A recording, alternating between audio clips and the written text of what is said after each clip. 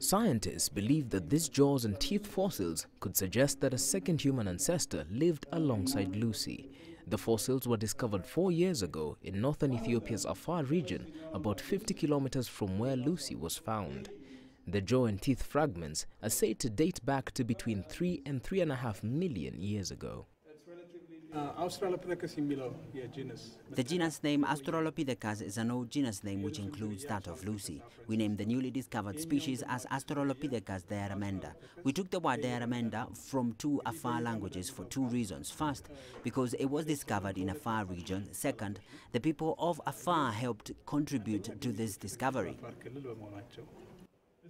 The species, named Australopithecus deyiremeda, combined ape-like and human-like traits, as did Lucy's species Australopithecus afarensis. But scientists say it was sufficiently different to warrant recognition as a separate species. But whether or not they are, the fact, according to Johannes, is that such discoveries being made in Ethiopia means a lot for the country.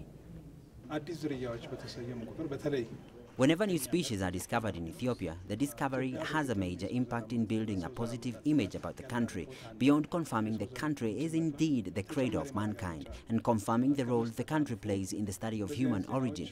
We are pleased in this regard. The discovery helps us work harder in building our country's image in addition to advancing the science.